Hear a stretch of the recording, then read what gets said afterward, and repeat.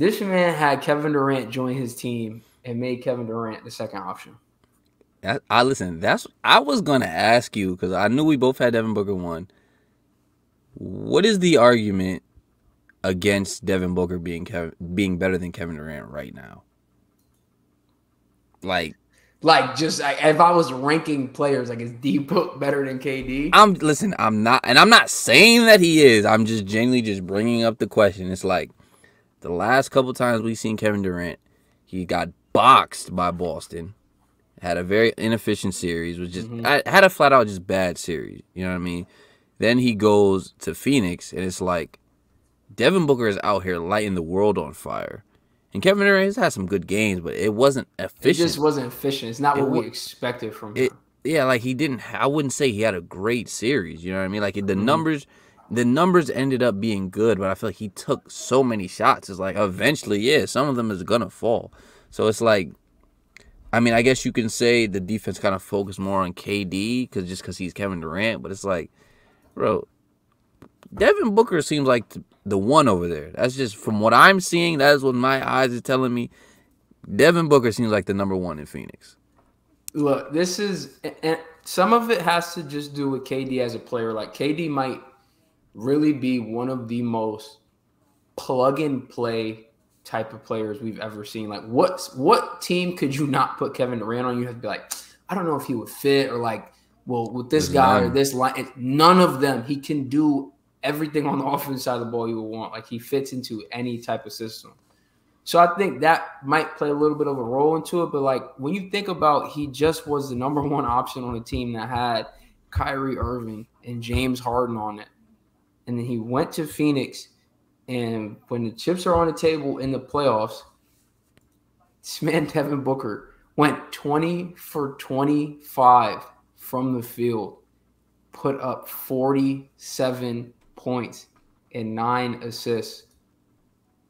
Like, bro, and then followed that up the next game on a night where Jokic is doing everything he can to try to get one in Phoenix. Had 53 um, Devin Booker in that game, they they him and KD both put up 36 points.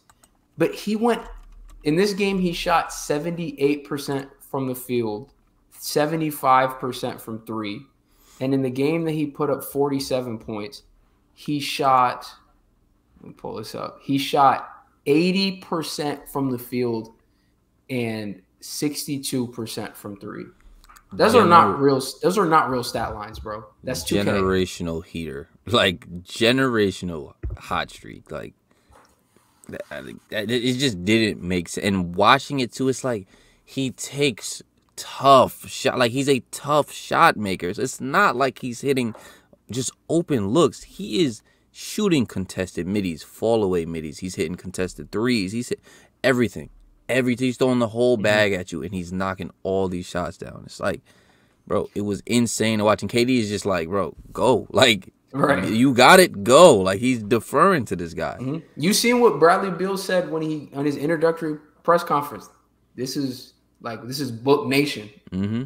He's been in Phoenix this whole time. He stayed ten toes down throughout all the bad, throughout him putting up seventy in the Boston Garden when his team was losing and the Celtics players are clowning him because they're losing on the scoreboard, but he is like they can't guard him. He's is mm-hmm. like baby Devin Booker. He's like 19, dropping 70 in an NBA game. Yeah. Um, and so like I said, to see that he was able to, or that they were able to bring in KD, and just like he just like went even harder.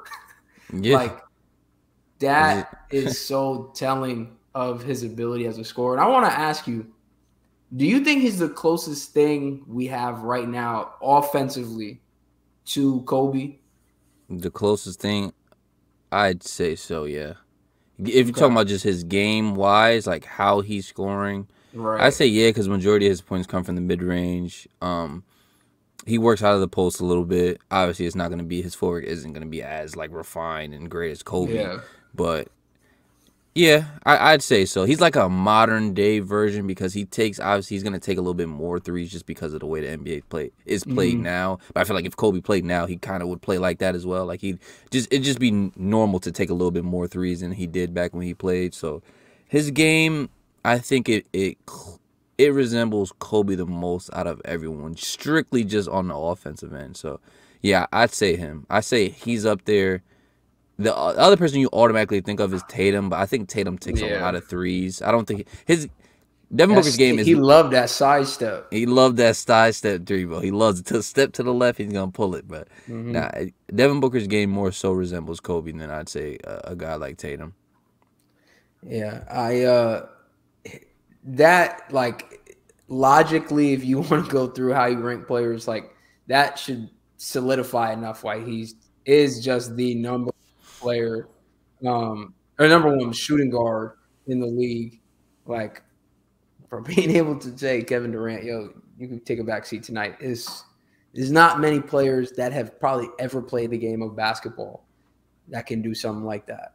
I, am just like, I mean, just being honest. It's just like, bro, if Kevin Durant, like, if his name wasn't Kevin Durant, like, and you just go based off of re, like recent, like the past couple years, it's like I just feel like people would say that Devin Booker is clearly the number one over there. But the fact that it is Kevin Durant, you're always obviously you're always gonna give him the benefit of the doubt, and rightfully mm-hmm. so. Like you're always gonna give him the benefit of the doubt. It's gonna be tough to get to that point. It's even hard to be like one two because you really want to be like one A one B type of situation. Exactly, but it's like I think that is what I'm gonna be most. That's what I'm gonna be closely watching this upcoming season. Like listen, when the game is on the line and when it really comes down to it, like whose team is this really? Like mm-hmm. I, I, mm-hmm. think just off personality alone, I think Devin Booker is gonna take it. But I'm curious to see if Kevin Durant just kind of like defers to him or is like, no, like what's his, his famous line? I'm Kevin Durant. Like if he actually says, no, I'm the best player on this team. I know this is technically your team, but it's like when push comes to shove, I'm the best player on this team. So I'm a, I'm gonna be watching that real, real closely this upcoming season. Yeah, I think to answer your question earlier, trying to think about putting Devin Booker ahead of KD is like it's a wild thought in my head. But it's like you said, it's a lot about thinking about Kevin Durant as a player in totality is like how can I put Devin Booker ahead of that? But if I'm thinking like right right now, I can see the argument. I I I can see the argument. I don't know if I can I can buy into it, but I can see it. And look, the, the playoff series against Denver, even against the, the Clippers too, like both of those series showed a lot about Devin Booker and where his game is at right now. Um, and put it this way too, it's like, would it even really be a bad thing? It's like, bro, we just talked about it all the time. How old is Devin Booker? He's 27. That's you're That's reaching crazy. You're, bro, these NBA players are coming in way too young. All right, you see, bro, it's crazy, but it's like if that's your prime, that means he's there. Kevin Durant is what about to be like 34, 35. Yeah. It's like they're going in different directions. I mean, I'm not gonna say he's gonna fall off, but it would just make I, sense. Yeah. It's yeah. not cra- like it sounds crazy, but when you stop, when people stop looking at it from a standpoint of like these athletes are just gonna be at their peaks forever, it could it could it could make more sense as to how that would become more of a thing. Kevin or Kevin Durant being not as good as Devin Booker right now. Not saying it is, but just you know, it could be a possibility this upcoming season.